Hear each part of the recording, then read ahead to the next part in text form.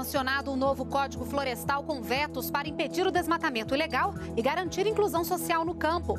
E veja também: juizados itinerantes devem chegar à zona rural até abril do ano que vem. E ainda nesta edição do NBR Notícias. Experiências de sucesso na prevenção de doenças e os avanços no combate à AIDS. Uma amostra em Brasília oferece também testes rápidos de HIV e sífilis. Semana Nacional da Ciência e Tecnologia traz a ciência na prática na sala de aula.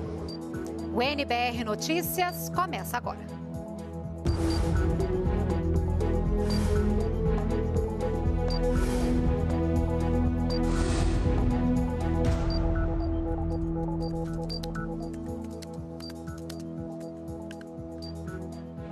Olá, boa noite. As novas, regra que, as novas, regras que estabelecem limites do uso das florestas brasileiras foram publicadas hoje no Diário Oficial da União. A presidenta Dilma Rousseff vetou nove itens do Código Florestal aprovado pelo Congresso Nacional. Um deles, por exemplo, assegura uma área maior de proteção em margens de rios. Com os vetos, a ideia do governo é impedir a degradação ilegal, não anistiar os desmatadores e assegurar a inclusão social no campo. Entre os artigos vetados está o que permitia uma área menor de mata nativa nas margens dos rios. Quanto maior a propriedade, maiores as obrigações de recomposição. O governo decidiu resgatar a chamada regra da escadinha, que prevê obrigações de recuperação maiores para grandes proprietários rurais. Os produtores rurais, por sua vez, terão que recompor entre 5 e 100 metros de vegetação nativa das áreas de preservação permanente, APPs, nas margens dos rios, o que vai depender do tamanho do imóvel rural. Também foi vetado o trecho que permitiria a recuperação de 5 metros de vegetação nativa em torno de rios temporários, com até 2 metros de largura, aqueles que secam durante uma época do ano isso para qualquer tamanho de propriedade. Ainda foram estabelecidas regras para o Cadastro Ambiental Rural, CAR, e o Plano de Regularização Ambiental, PRA, que devem ser feitos por todos os produtores para se adequar ao Código Florestal. O que a presidente fez foi, ao regulamentar o PRA, como está previsto no parágrafo 59, estabelecer a proteção mínima dessa área. Não há nenhum problema de fazê-lo. Essa restrição está prevista tanto na lei tanto na lei que o Congresso aprovou, quanto é, no decreto que acaba sendo adotado. É um total de nove vetos, ok? Ah, que foram todos fundamentados naquilo que é o princípio da edição da medida provisória, que significa não anistiar, não estimular desmatamentos ilegais e assegurar a justiça social, a inclusão social no campo, em torno dos direitos dos pequenos proprietários e agricultores familiares. Também foi vetada a recomposição de áreas de preservação permanente apenas com árvores frutíferas. O governo decidiu que o reflorestamento deverá ser feito com espécies nativas ou combinação de nativas e exóticas. área de preservação permanente só com frutífera, monocultura. monocultura, isso foi vetado, porque isso não assegura todas as funções da área de preservação permanente. E agora nós vamos conversar ao vivo com a repórter Ana Gabriela Sales, que está no Palácio do Planalto e traz mais informações sobre o Código Florestal. Ana Gabriela, boa noite. Boa noite, Renata. O advogado-geral da União, Luiz Inácio Adams, conversou agora há pouco com os jornalistas aqui no Palácio do Planalto e disse que os vetos feitos pela presidenta Dilma Rousseff ao Código Florestal estão dentro da lei. Segundo ele, eh, os vetos não violaram a, os, o, processo, o processo legislativo, já que sancionar e vetar dispositivos da lei fazem parte das atribuições da presidência da República. Adams disse ainda que o governo não teme disputas judiciais sobre essa questão, ressaltando que o, o próprio Congresso Nacional delegou ao chefe do Poder Executivo a competência para dar outras soluções que julgar necessárias para matérias como essa do Código Florestal. Renata. Obrigada pelas informações, Ana Gabriela. E o programa Bom Dia Ministro desta quinta-feira recebeu Fernando Pimentel, do Desenvolvimento, Indústria e Comércio Exterior. Ele falou sobre o novo regime automotivo, que vai garantir mais eficiência energética e carros mais econômicos. O regime Inovar Alto prevê, por exemplo, uma redução é, nos próximos quatro anos de 18% da emissão de gases poluentes é, dos veículos produzidos no Brasil. Isso significa que serão carros mais econômicos. Para que você tenha uma ideia, nós vamos ter Hoje, o consumo médio de um carro a gasolina é em torno de 14 km por litro. Nós vamos chegar a 2014 com 17,2 km por litro. É a meta exigida pelo programa Inovar Alto, que terá que ser cumprida para que as empresas tenham benefícios tributários previstos no programa. Então, nós vamos ter veículos mais econômicos, menos poluentes, mais seguros, mais eficientes e, como eu disse, tenho quase certeza que isso vai acontecer, também mais baratos pelo aumento da concorrência. O rebanho bovino nacional ultrapassou 210 milhões de cabeças em 2011, um aumento de 1,6% em relação ao ano anterior. Os números são do IBGE. O levantamento apontou que o rebanho nacional de bovinos chegou a 212 milhões e 800 mil cabeças em 2011, um aumento de 1,6% em relação a 2010, com as maiores concentrações no centro-oeste, norte e sudeste. O rebanho de búfalos cresceu 7,8% no período, totalizando 1 milhão e 300 mil cabeças, concentrados no Pará, Amapá e Maranhão. Com esse resultado, o Brasil manteve a segunda posição mundial em rebanho, atrás da Índia. Ainda segundo o estudo, a produção de leite em 2011 chegou a 32 milhões de litros. E até abril do ano que vem, as áreas rurais em todo o país devem receber juizados especiais itinerantes. A repórter Patrícia Scarpim traz para gente os detalhes. Patrícia, boa noite. Boa noite, Renata. Esses juizados têm a missão de ajudar os moradores das áreas rurais na resolução de conflitos. E é sobre esse assunto que eu converso agora com o Flávio Caetano, que é do Ministério da Justiça. É, Flávio fala para a gente, esses juizados estão previstos numa lei que começa a valer a partir do ano que vem. Por que foi importante tomar essa medida? Essa lei é revolucionária. A partir, da, a partir dela, nós garantimos o acesso à justiça a mais de 30 milhões de pessoas que moram nas áreas rurais e nas áreas mais longínquas do país e que não têm acesso à justiça. Então é uma grande lei, grande inovação para o país. E na prática, como que esse sistema itinerante vai funcionar? O sistema itinerante é de a justiça ir aonde o povo está. Então a itinerância é feita com ônibus, é feita com trailer, é feita com caminhão e dependendo do lugar é feita até com barco. Então a ideia é que a justiça vá aonde está o povo. E é o povo que não tem acesso à justiça. São em lugares onde não existe comarca, onde não existe fórum, onde não existe o poder judiciário. Que tipos de problema que essas pessoas que moram na zona rural enfrentam hoje e que essa lei vai ajudar? Essa lei atinge as pequenas causas. Então, são causas com valor de até 40 salários mínimos, que hoje dá quase 25 mil reais. Então, envolvem, por exemplo, problemas de arrendamento rural, quando alguém aluga sua terra para fazer plantio e para fazer cultivo. Envolve também problemas de posse em imóveis que não superem o valor de 25 mil reais. Envolve também eventuais danos ao imóvel e reparação de danos que também nesse valor. Então são as pequenas causas e os conflitos rurais e das, das áreas com pequena população. Obrigado pela entrevista. Renata. Obrigada pelas informações, Patrícia. Um curso para capacitar agentes de defesa civil sobre como utilizar o sistema de informações sobre desastres e assim solicitar recursos está com inscrições abertas até o dia 25 deste mês. A gente volta a falar com a repórter Ana Gabriela Sales, que tem as informações. Ana Gabriela. Oi, Renata. Bom, só uma correção: a data limite de inscrições para esse curso à distância é dia 26 de outubro.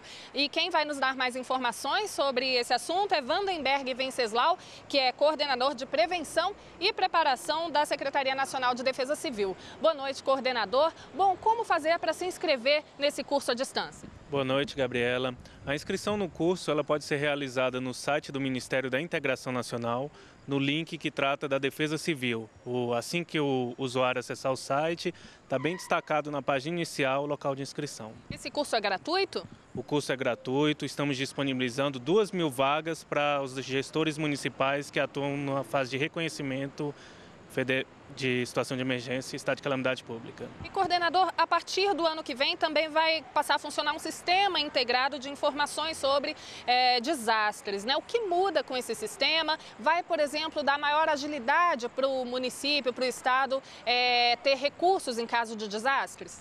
Sim, o sistema é um avanço no que nós temos hoje em relação ao reconhecimento federal de situação de emergência. Ele vai informatizar todo esse processo. Então, tudo que era feito em meio físico, por papel, vai passar a ser feito diretamente no sistema por meio online o município, o responsável pelo município entra no sistema, cadastra a informação de um desastre que porventura ocorreu e essa informação é transmitida online para o Ministério. Então há um ganho enorme de agilidade. E as defesas civis estaduais estão obrigadas a integrar esse sistema já a partir de 2013? Sim, a partir de 1 de janeiro de 2013 não existe mais solicitação de, de reconhecimento federal feito por meio de papel, apenas pelo sistema. Ok, muito obrigada pela participação ao vivo. Voltamos ao estúdio, Renata. Obrigada, Ana Gabriela. E é bom lembrar que o prazo é 26 de outubro. Um braço mecânico formado com peças de Lego, uma escola móvel que mostra como partículas menores que um átomo podem ser usadas no nosso dia a dia. São algumas das táticas para despertar o interesse dos estudantes pelo mundo da ciência. Muitos dos projetos são desenvolvidos pelos próprios alunos. Quem sabe desses pequenos inventores não podem sair grandes cientistas? É a Semana Nacional de Ciência e Tecnologia.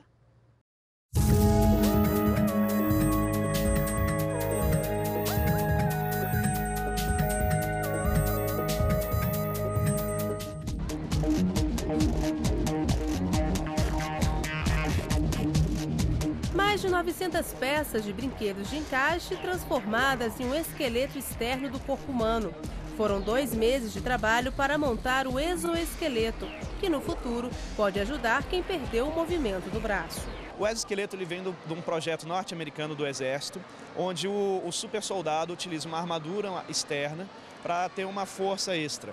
Aqui nós adaptamos o projeto para pacientes com problemas de mobilidade nos membros superiores. Então ele tem um controle para o braço, que é o bíceps. Ele, esse controle, através das roldanas, faz o braço levantar e abaixar. E aqui nós temos o controle da garra, onde você tem a pinça, os movimentos de pinça, e a, o giro da mão para poder servir. O aluno Vitor, de 15 anos, participa do projeto. Ele diz que a robótica ajudou na escolha da profissão. Eu gosto muito, é, pretendo seguir com engenharia mecatrônica, que é realmente essa área. E o interesse pela ciência não para por aí. Essa escola de Ceilândia, cidade a 30 quilômetros de Brasília, trouxe para a Semana Nacional de Ciência e Tecnologia uma rede social criada por alunos entre 15 e 17 anos. Foram dois meses para colocar o projeto na internet. Quando é, você leva o lado prático das ciências, a aprendizagem se torna-se mais prazerosa, você consegue uma interação maior com o educando. Levar para a forma prática é muito mais prazerosa, dá mais gosto, não só de nós, professores, como também do aluno. A gente quer fazer com que crianças, até crianças, possam utilizar a internet de uma forma diferente e mais engajada no assunto. Se o objetivo é despertar o interesse do jovem pela ciência, que tal mostrar um mundo micro, ou melhor, nano, do tamanho de um átomo? O SESI e o SENAI criaram uma escola móvel que traz o nanomundo. A iniciativa foi apresentada em primeira mão aqui na Semana Nacional de Ciência e Tecnologia. O projeto foi montado em um caminhão e pode ser levado para todo o país. No próximo ano, a iniciativa vai percorrer as escolas de ensino fundamental, médio e técnico da rede. O objetivo é que essas pessoas elas tenham esse contato, entendam como funcionam as coisas no que a gente diz na escala que nós não enxergamos, aquelas coisas que são invisíveis aos nossos olhos, porém que nós sabemos que estão ali, que estão em tudo, na verdade, em toda a matéria.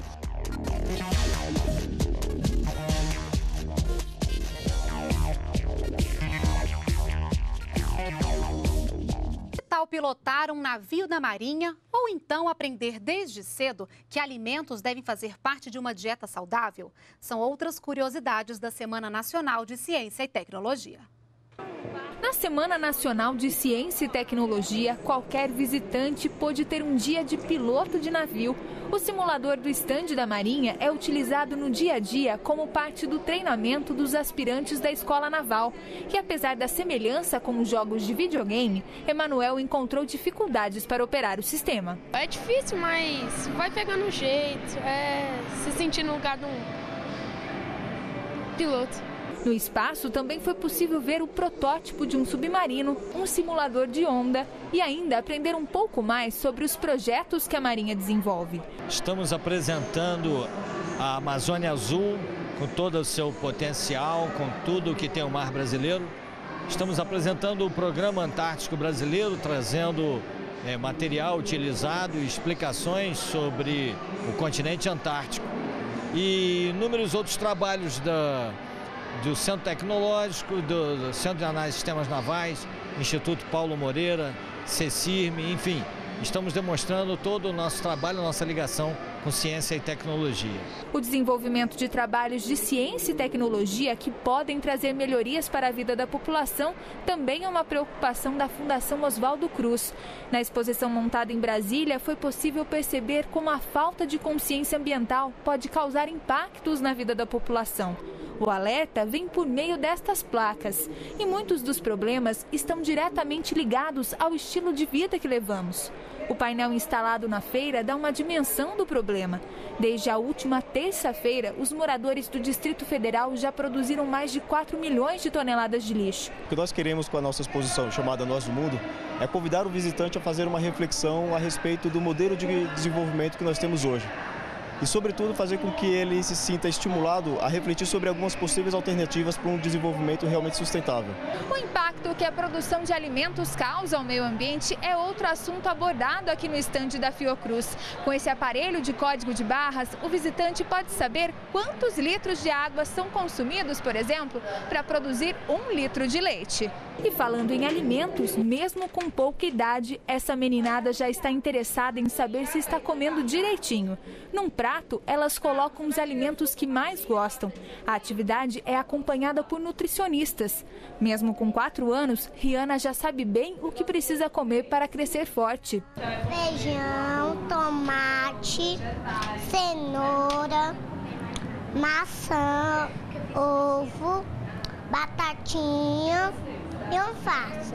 E Talita percebeu que são necessárias algumas mudanças. Elas me disseram que eu posso comer arroz, feijão, mas não muita besteira, só de vez em quando. Aí, se eu botar assim, eu posso ficar gorda e eu não quero ficar gorda.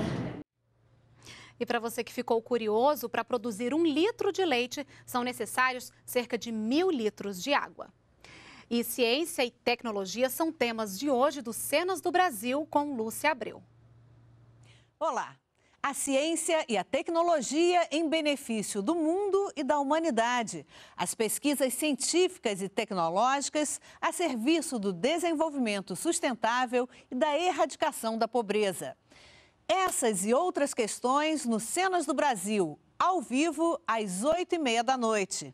Quem mantém as contas em dia vai poder fazer parte do cadastro positivo, que lista os bons pagadores do país. O novo sistema vai permitir que brasileiros sem dívidas possam ter crédito com juros mais baixos, por exemplo. A inclusão dos nomes no cadastro vai ser opcional. Quem quiser participar terá que autorizar a inclusão do nome no sistema. Uma pesquisa do IBGE mostra que, enquanto 90% das mulheres brasileiras fazem tarefas em casa, além de terem ocupação remunerada, menos da metade dos homens tem a mesma jornada. Quem tem os detalhes sobre o seminário que discute esse assunto é a repórter Patrícia Scarpim. Patrícia? Renata, esse seminário começou hoje em Brasília e vai até amanhã. E para falar sobre esse assunto, eu converso agora com a Tatal Godinho, que é da Secretaria de Políticas para as Mulheres. Boa noite, secretária. Fala para a gente. A pesquisa do IBGE apontou que homens e mulheres usam o tempo de forma diferente. Por que, que isso ocorre? Principalmente porque o trabalho cotidiano da casa, com os filhos, o trabalho doméstico, o cuidado com a, com a família, o cuidado com as pessoas doentes, fica como uma responsabilidade quase que exclusivamente das mulheres. Os homens ainda compartilham muito pouco. Então sobra muito menos tempo para as mulheres para as atividades de lazer, para participar da política, para as atividades culturais, e isso interfere também na sua carreira. Que reflexões vocês esperam fazer a partir desses dados nesse seminário que está tendo aqui em Brasília? Esses dados nos ajudam a pensar em dois momentos. Políticas públicas que nós precisamos alterar para garantir que as mulheres possam ter melhor participação no mundo público. Então, aumentar o número de creches e, educação, e vagas de educação infantil, ampliar o cuidado com as crianças nas instituições públicas, mas também mudar a cabeça das pessoas, porque é preciso que a sociedade, e em particular os homens, saibam que esse cuidado e esse trabalho é responsabilidade de todo mundo, não é responsabilidade só das mulheres. Então, a partir dessas discussões, é possível pensar em mudanças? Ah, é claro que é possível pensar em mudanças. As mulheres estão cada vez mais no mercado de trabalho, tentando entrar na política, querendo participar da cultura, e aí é preciso dividir o cotidiano porque tem uma parte do cotidiano que tem que ser feita, não é isso?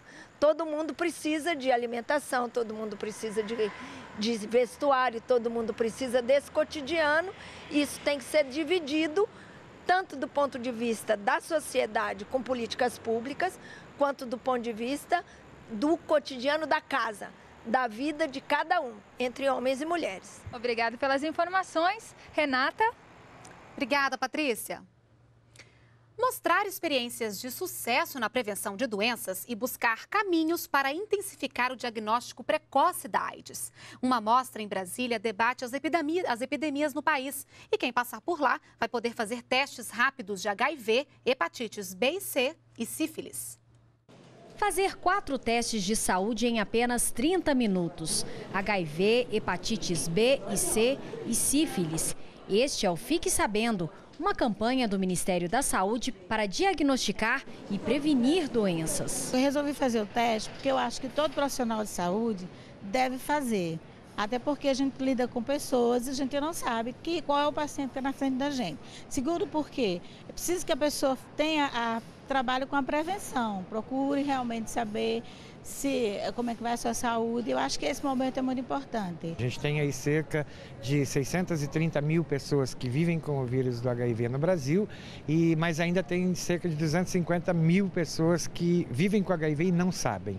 Então, que precisam fazer o teste, precisam é, buscar orientação para um melhor tratamento e até para o vírus não se replicar. E em Brasília acontece uma exposição sobre experiências bem-sucedidas em prevenção e controle de doenças doenças, onde é possível fazer todos estes testes rápidos. O evento reúne profissionais de saúde de todo o país para compartilhar experiências no controle de doenças. A AIDS, ela não é um, uma coisa do governo, ela é uma coisa de Estado. É uma, o enfrentamento da AIDS, ela, ela transcende é, quem hoje ocupa um cargo político, seja no Estado, no município ou na União. As pessoas formaram essa rede e essa rede é o que mantém uma política bem sucedida. Com a participação dos movimentos sociais, sempre. Se não tiver a participação da travesti, da prostituta, do usuário de droga, da, das pessoas aí que são diretamente afetadas e que se encontram em situação de maior vulnerabilidade, você não consegue atingir de fato as pessoas que precisam. O jovem, ele é também um elemento que tem que estar sempre exercendo seu protagonismo e colaborando com a gente nessa política de enfrentamento. E os casos de malária no Brasil caíram 56% em seis anos. Passaram de 607 mil em 2005 para 267 mil casos em 2011. Os dados foram divulgados durante a Mostra Nacional de Experiências Bem-Sucedidas em Epidemiologia. E para combater o tabagismo e evitar doenças causadas pelo cigarro, um joguinho de computador lançado hoje pelo Instituto Nacional do Câncer convida crianças e jovens a construírem um mundo livre do cigarro. O jogo é dividido em várias fases e mostra a cadeia produtiva do tabaco, desde a plantação até a comercialização nas cidades. Na primeira parte do jogo, é possível conhecer as doenças que os agricultores e suas famílias sofrem por cultivar o fumo. Nas fases mais avançadas, o jogador pode distribuir cartazes para reforçar a campanha de combate ao tabagismo. E um espaço criado pela Controladoria Geral da União quer incentivar o aprendizado de crianças de 6 a 12 anos. É o Portalzinho da Criança Cidadã, que nesta quinta-feira recebeu novos jogos e histórias. Desde que foi criado em 2008, o portal infantil recebeu mais de 345 mil visitas. O espaço reforça nas crianças temas como ética e cidadania. Nas historinhas, o papel dos poderes executivo, legislativo e judiciário e como cada um deve cuidar da qualidade de vida.